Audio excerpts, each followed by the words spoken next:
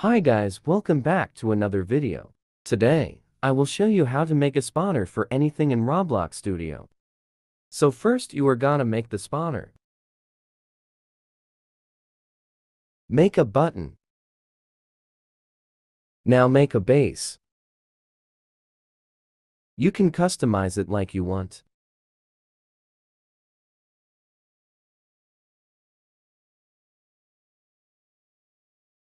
Now group the button and the base.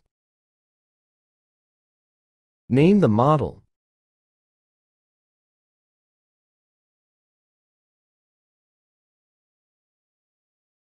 Now time to get the model you want to spawn ready. You can use a model from Toolbox if you want. Now group it if you made your own model, even if it was one part. Name it. Never mind what I am doing here, it was a mistake.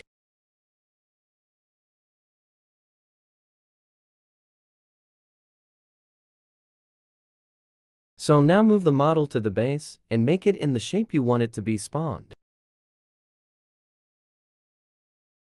Now move it into replicated storage.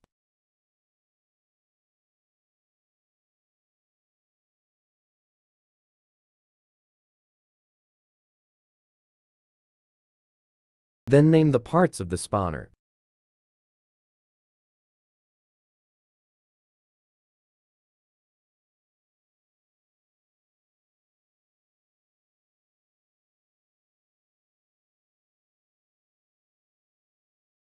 Then insert a click detector and a script into the button. Scripts and description. Local model equals game dot replicated storage your model's name. script.parent.clickDetector.mouseClickConnect function.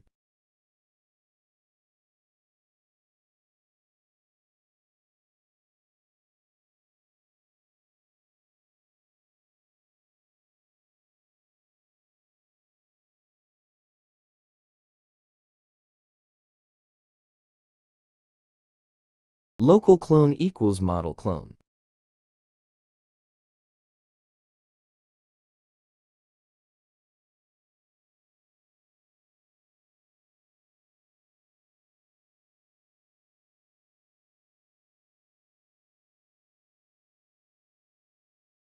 Clone.parent equals workspace. End. Now let's test.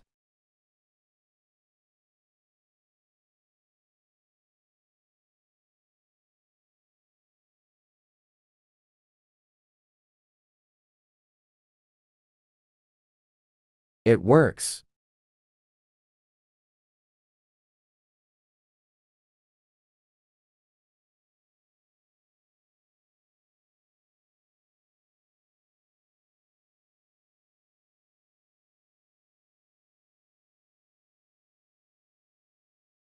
Thanks for watching guys, please make sure to like and subscribe. Also did you notice something in this video? Who notices it right will get pinned. Now bye.